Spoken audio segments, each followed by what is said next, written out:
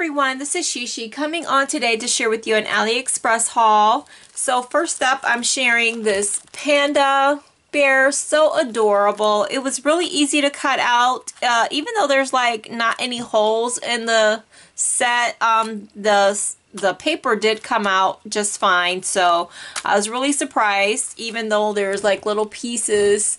Um, it popped out just fine, so I was um, happy with that set. Um, everything from this haul comes from a store called KS Craft. It, it is a PayPal seller, so I do have some information at the end of this video um, about PayPal if you want to stay tuned. So um, I also used um, these uh, cute enamel hearts. I shared this in a previous video, but I did not show how I used them, so I'm going to share how it was used in this video. I'll link them in the description box below if you want to pick them up after you see how it was used on my card. So here is the card that I made. Um, my little panda's holding a heart. So pretty, and I love the colors. They're so bright. This is one of my favorite colors, this royal blue.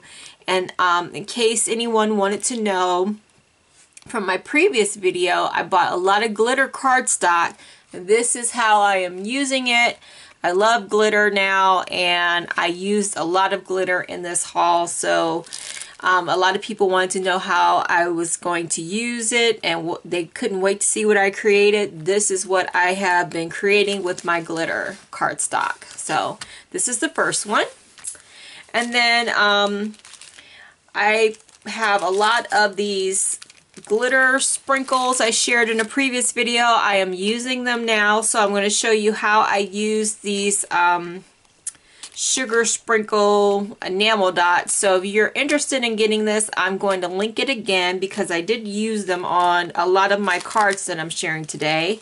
So the next set I'm sharing is this llama. Very, very cute and people wanted to know how I was going to use this paper punch that I just purchased so I'm using it on this llama card. So I made it um, a female llama so this is how I used it and I used the little sugar sprinkles right here in the corner and I think she turned out really really cute. So um, I hope you like this card so I thought she was adorable um, next is this um, Cat Witch.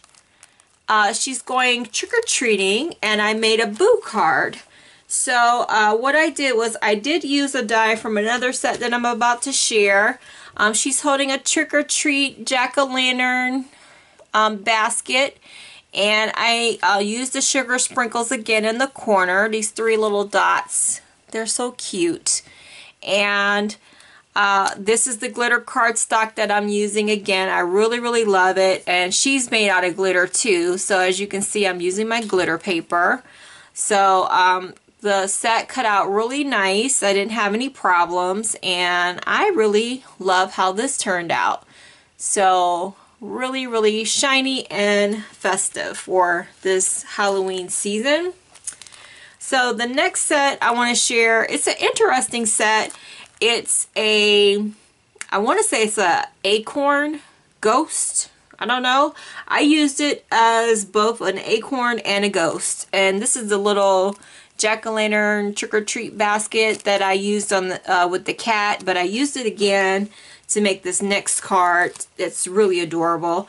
So my two little trick-or-treaters, um, one's dressed as a uh, acorn and I thought um, since it's two pieces, you can make it also a ghost. So um, I just have them two, the two little trick-or-treaters going door to door. I have both of them on here. So if you want to make it a ghost, you can, or you can make it an acorn. So the card is just trick or treat. And then here's those little sugar um, enamel dots right there in the corner and they're glitter so love that.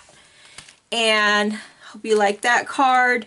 On um, the next one is a reindeer really really cute.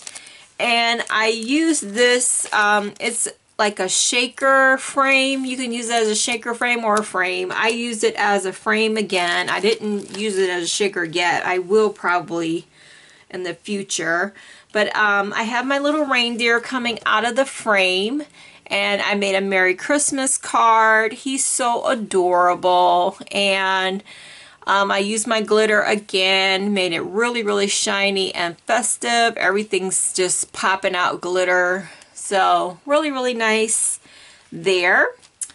And um, again, this is where the frame is that he's coming out of. And that's the reindeer, how it looks. Okay, and then the last few sets, I didn't make cards, but um, this is the, the die. It's a flower, really, really pretty. And then um, I used this torn edge set that I shared before. I really like it. I love how it makes your cards look. So I just put it on this right here and I didn't add a sentiment on it, but this is how it turned out. So it could possibly be a sympathy card or thinking of you. But um, I love how this looks, you know, together. So that's an idea. And then next is this um, little uh, stocking set. It has a little snowman and a like a little present and then there's like some little leaves and uh, foliage kind of stuff. I didn't cut these pieces out but you can use that in the set if you want and this is how it looks when you cut it out. So I haven't had a chance to um, make a card with it but I just wanted to cut it out so you can see how it looks.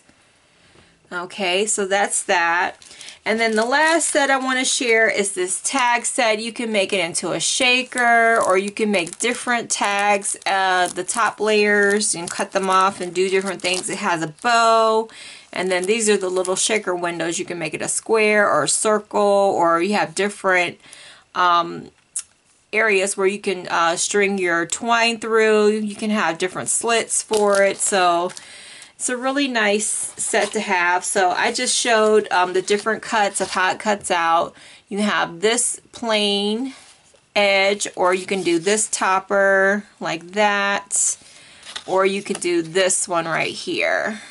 So different edges. So here are the three different edges that you can do for different styles or you can do this one a top and a bottom you know and just have one um, uh, sentiment and do that you know. So you can do different looks and have two of the same edges and make a sentiment like that or um, you know, or layer labels, you know. So, I mean, you can do so much with that set. And again, it has a bow, so you can have extra bow in your set. But anyway, again, I'll link those um, items that I shared in this video in the description box below. Now, if you stay tuned, I wanted to share with you, um, I had a whole bunch of questions about um, difficulties checking out with PayPal.